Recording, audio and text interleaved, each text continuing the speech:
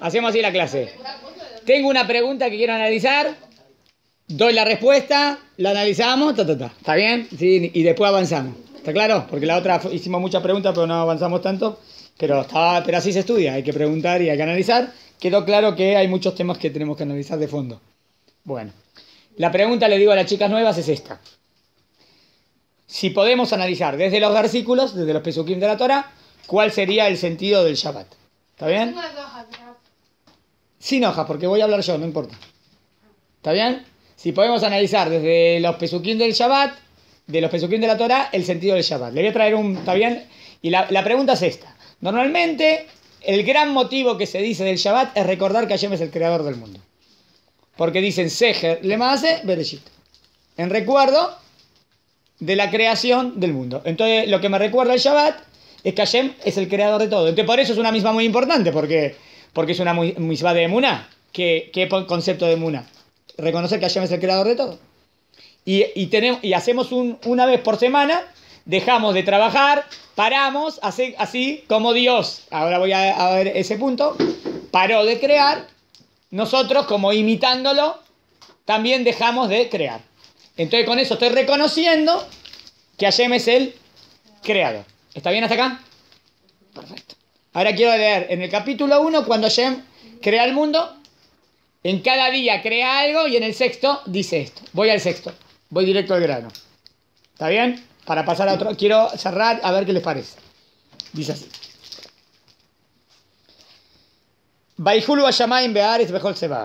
Y Dios concluyó de hacer los cielos, la tierra y todos sus ejércitos. ¿Qué serían los ejércitos? Los ejércitos de los cielos y los ejércitos de la tierra. Podría ser los ejércitos de los cielos, serían las estrellas, el sol, la luna. El ejército de la tierra, todo lo que hay sobre la tierra. Los animales, los seres humanos. ¿Entendieron? Bueno, creó todo ya. Y en el día séptimo concluyó de crear, concluyó su trabajo. Y cesó el día séptimo de todo trabajo que hizo. O sea, el día séptimo creó algo, no creó nada. Ahí va. Baibar Elohim metió Masheviva y Kadeyoto. Miren lo que dice. Bendijo al día séptimo y lo consagró. Porque acá lo que me parece el pasuk, me parece el pasuk central para hablar del tam. El pasuk central para hablar del sentido. ¿Por qué lo bendijo? El día Shabbat. Kibó Shabbat Mikol Melachto. ¿Por qué lo bendijo? Porque ese día cesó de todo su labor.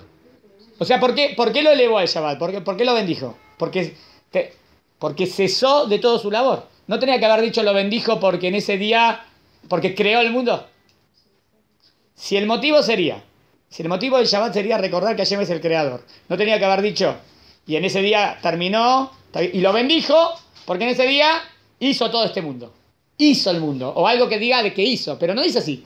Acá dice, porque en ese día Claro, concluyó. Pero estaría mal dicho también, sí, porque lo creó. Ya, ya está. Ya está creado, está bien. Entonces, ¿qué es lo que dice ahí? Porque concluyó la creación. Claro. Entonces, ¿por qué lo alaba? ¿Por qué lo consagra este día? ¿Por qué lo consagra este día? Porque este día Terminó la creación, concluyó la creación. Oh, oh, oh, Bueno, ahora lo explico más. Dejó de dedicarse a la creación. Porque este día se dedica a la creación. ¿En Shabbat se dedica al mundo? Muy bien. Ahí, ahí voy a ese punto. Puede ser que el secreto del Shabbat sea. ¿Qué hacemos en Shabbat? Al fin y al cabo dejamos de crear, eh, dejamos de dedicarnos, ¿no? Estamos de la semana. Li- nos limitamos, dejamos de hacer trabajos, ¿no? no traba- 39 trabajos prohibidos, no, no, no me dedico tanto a este mundo. O sea, así como Dios en ese día, en ese día Dios se dedicó al mundo, no, porque concluyó el mundo. En, ese, en, el, se- en el séptimo día no hizo nada más. El séptimo día no hizo nada. Entonces yo diría, ¿qué tiene de grandioso eso no hacer nada? No hacer nada, ¿qué tiene de grandioso? Lo grandioso es hacer. Ahora, yo no, al revés.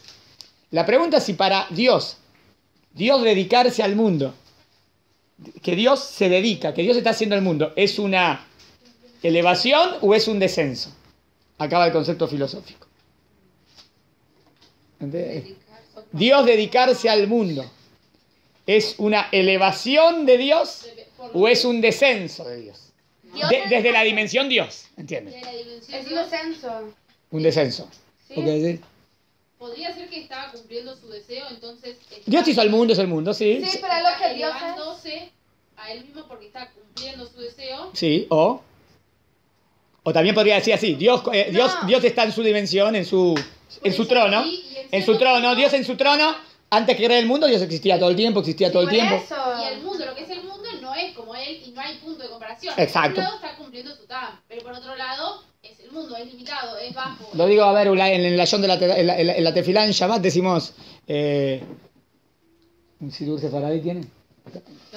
Miren cómo decimos en la tefilá de Porque Shabbat. ¿eh? sefaradí, dice, ¿cómo decimos? Es porque di Porque yo soy sefaradí. sefaradí. Y bueno, está bien. Lógica, ya no hay. Miren cómo decimos en Shabbat, ¿no? La tefilá de... En las verajot del Shema Israel. En las verajot del Shema... Fíjate, el Pasuk dijo, ¿eh? El Pasuk dijo que lo consagró porque en ese día... Eh, como dijo, vamos... Dile, dile.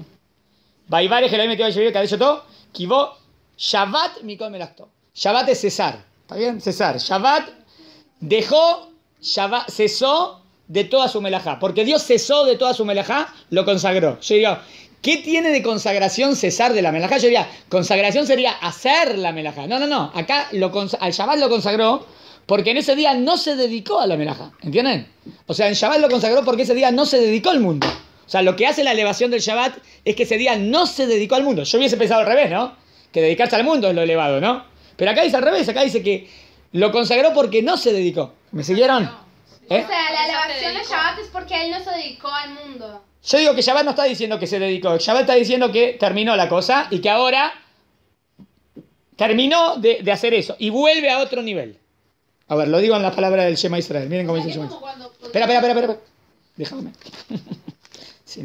Déjame leer lo que dice acá. Dice así. A ver si llego rápidamente.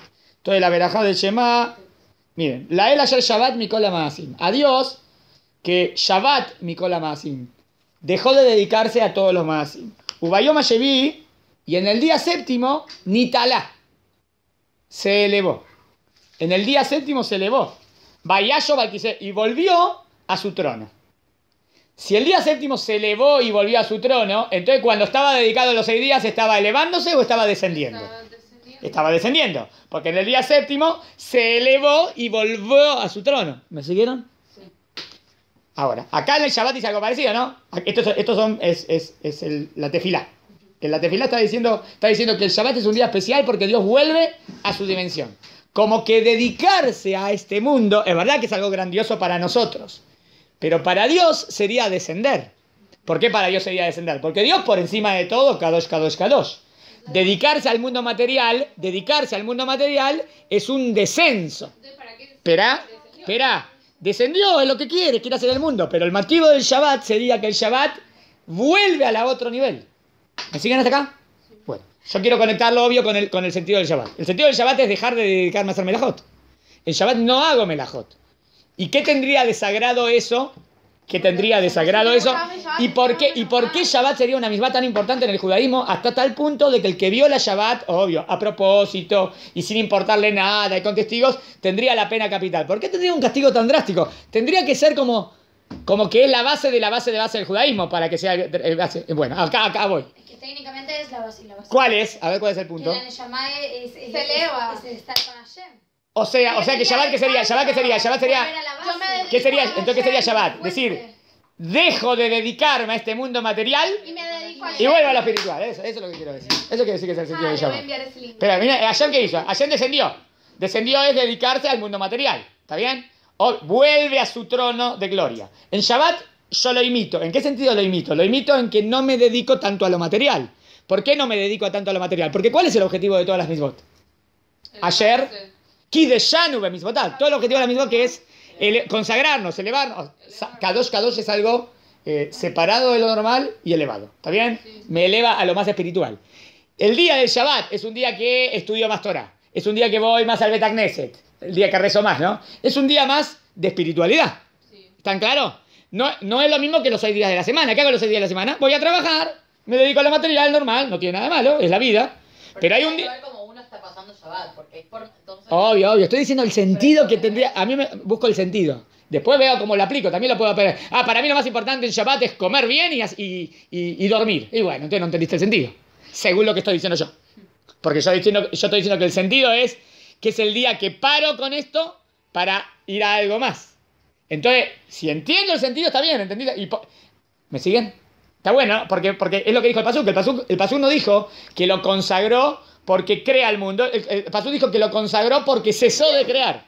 Como que cesar de crear sería la elevación. ¿Por qué cesar de crear sería la elevación? Porque crear para Dios sería un descenso. ¿Por qué para Dios crear sería un descenso? Porque Dios que es tan cada tan, tan espiritual está dedicándose al mundo material. Obvio que es todo bondad, todo material, que que quiere crear el mundo. Está bien, no estoy agarrando, pero estoy agarrando la línea. ¿Entendió la línea? La línea sería que todas las mismas me, me vienen a dar Kedusha. Y el Shabbat sería la misma por excelencia. Acá va. La misma por excelencia que me enseña. La misma por excelencia que me enseña que lo espiritual es lo más importante. Que, la- o sea, lo espiritual, lo rujaní, la kedushá, el alma, el contacto con Dios, eh, trascender, eso, eso es la, lo más importante de la vida. Que lo espiritual es fundamental.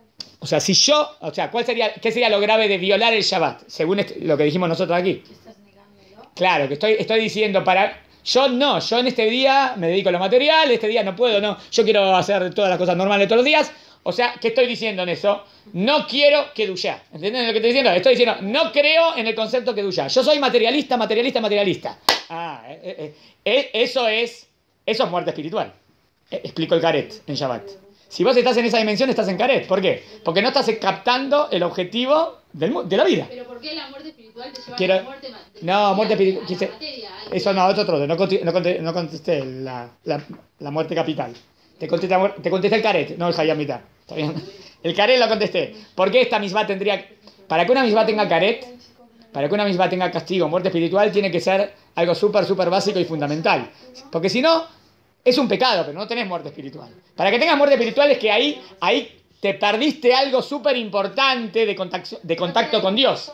Eso que te perdiste del contacto con Dios es sinónimo a muerte espiritual. ¿Entendieron? No muerte espiritual. Ah, te portaste mal, chaca. No. Es natural, es consecuencia. Si yo no creo en, el, en la Kedusha, estoy muerto espiritualmente. ¿Entienden? Yo, yo soy, yo, yo- si yo digo una vida neta materialista, estoy desconectado de Dios. Eso es sinónimo para mí de muerte espiritual. ¿Entendieron? No muerte espiritual como castigo, muerte espiritual como, como consecuencia. ¿Se entendió? Obvio. No estoy contestando nada. ¿Por qué tendría la pena máxima? Para que tenga pena máxima porque, la porque viene a enseñarte algo o- porque es algo muy grave que, que va en contra de todo el criterio de lo que la Torah te quiere enseñar. La Torah te quiere enseñar que la Kedushá es lo más importante. Y el Shabbat es el día proper eh, que viene a enseñarte esa idea. Y si yo voy en contra de eso, estoy, estoy yendo justo en contra de la idea fundamental, no de una misma, de todas las mismot. Porque todas las mismot, como decimos en la verajá, Baruch ata Hashem, Eloquenu melech haolam, ayer, ki de Shanu. O sea que todo el objetivo de todas las mismas es darte más que duya, más que duya, más que duya, más que duya. ¿Qué es que duya? Desapegarte de lo material y, y- y elevarte espiritualmente o ser más ético, más moral, lo que sea, ¿no? Pero elevarte. Si yo digo, no creo en esa idea, no creo en la idea de elevarme, estoy yendo en contra de todo. ¿Se entendió? Fui directo al grano. ¿Está bien? Entonces, a ver, ahora pregunten, sí. Una pregunta, si una persona deja de respetar Shabbat, no importando las razones, y vuelve, pero no por la creencia, o sea, como que sabe la verdad, pero como que decide no, no respetar Shabbat.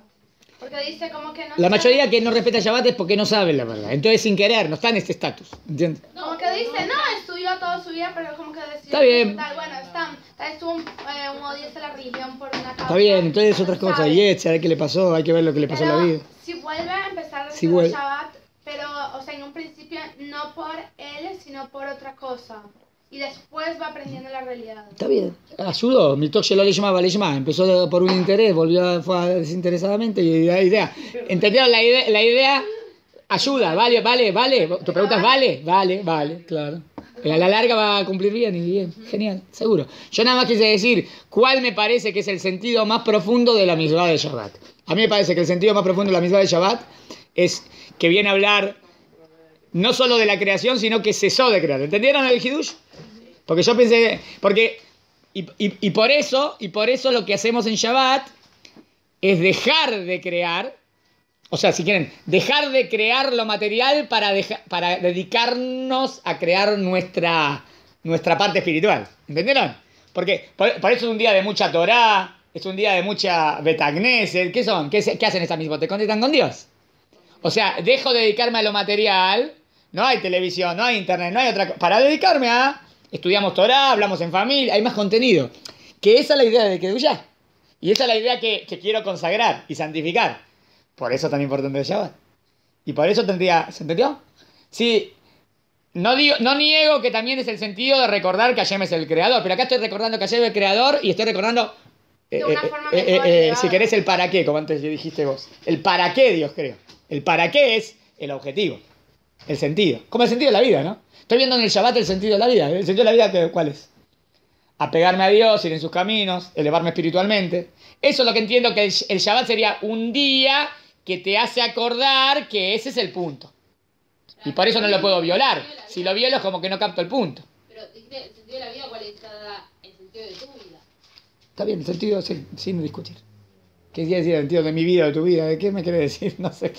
El sentido del, del- es muy amplio, es muy amplio, todavía no lo demostré, no lo demostré. Yo- pero estoy apostando al sentido de la vida, te lo digo, lo que yo creo que es el sentido de la vida. El sentido de la vida es, el sentido de la vida es trascender espiritualmente y ser la persona lo más completa y buena posible, éticamente hablando. Dos, dos puntos son. Ética, pero ética es el medio, y Kedushá es el top. Y entonces por eso dije el, el- el motivo, el sentido, porque es Kedushá. Kedushá son elevarme espiritualmente, o sea, captar la verdad absoluta, apegarme a Dios.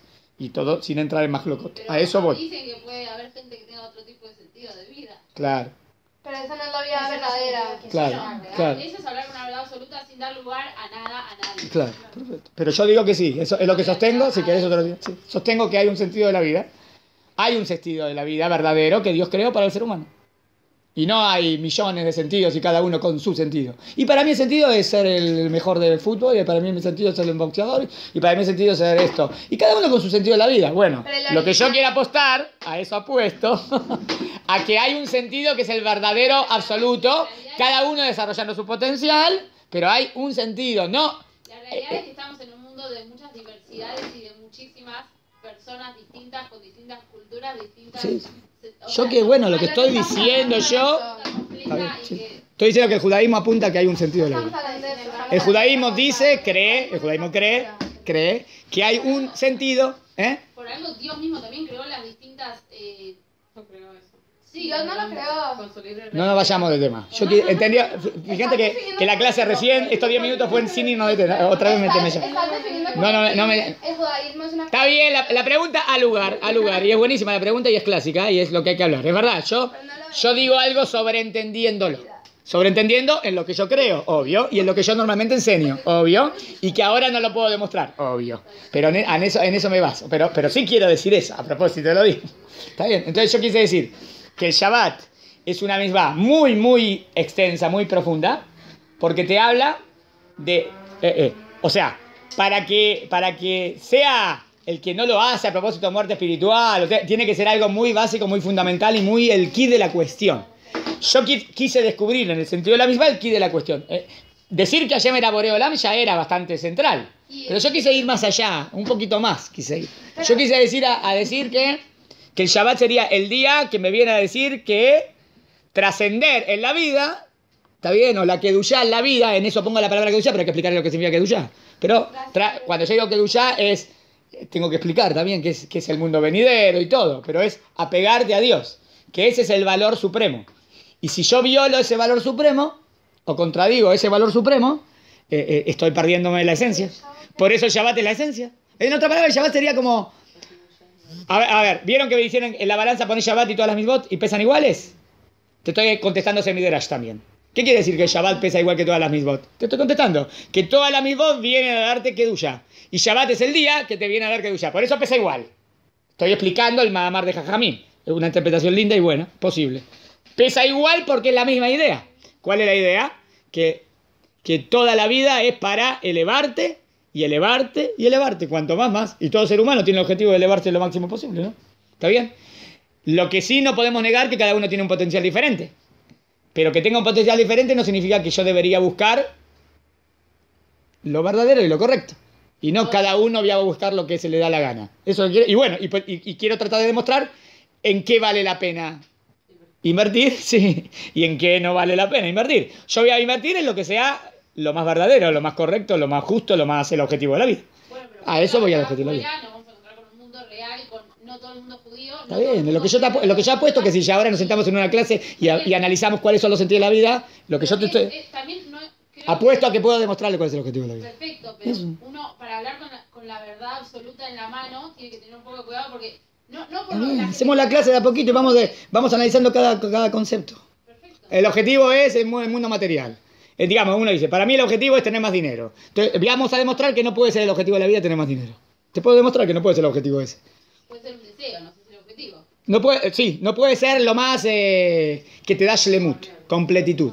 Porque es algo externo a ti, porque no sos vos, porque te puedes sacar el dinero y seguir siendo la persona, porque no es tu esencia. Te puedo demostrar argumentos lógicos que no puede. Bueno, a veces es una manera de demostrar que el dinero, digamos, no es la, la meta final. Ahí voy descartando, descartando y voy llegando. crea en eso, simplemente que creo que hablar de una verdad absoluta única es no dar lugar a otros que no están así y que es cerrarse a esto. No es cerrarse, eso es lo divertido de la clase. Lo divertido de la clase es descubrir la verdad. Por eso. Y bueno, entonces lo más lindo de la clase es escuchar todos los argumentos y ver cuál gana.